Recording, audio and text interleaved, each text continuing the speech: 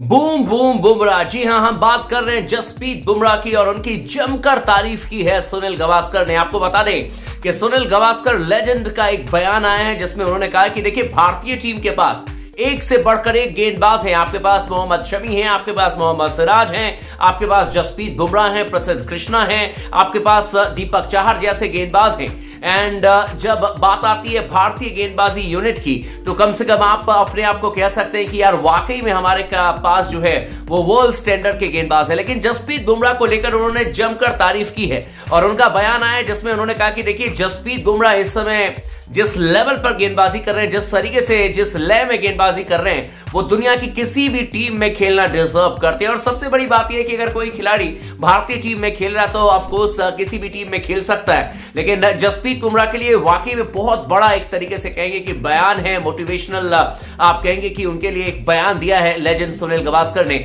उनका यह कहना कि बुमराह की गेंदबाजी देखकर ऐसा लगता है कि वो दुनिया की किसी भी टीम में खेल सकते हैं। यानी कि बुमराह वाकई में फैंटेस्टिक है और ये बताने की ज़रूरत नहीं है। उम्मीद करते हैं कि हमारे जो गेंदबाज हैं, वो अभी भी पीक परफॉर्मेंस दे रहे हैं। लेकिन 2022 ऑस्ट्रेलिया में बहुत ज़बरदस्त इनकी ज़रूरत हमें पड़ेगी। और यही उम्मीद करेंगे कि ये जो हमारे गेंदबाजी लाइनअप है, वो अपना टॉप क्लास परफॉर्मेंस जो है, वो 2022 वर्ल्ड कप में दे, जिसकी शुरुआत जो है अगेंस्ट पाकिस्तान हो जाएगी। तो इसी उम्मीद के साथ की जसप्रीत बुमराह आने वाले सीरीज़ में बेहतर करेंगे और वर्ल्ड कप में बुमराह हो सकता है कि भारतीय टीम के लिए सबसे बड़े खिलाड़ी साबित हो जाए।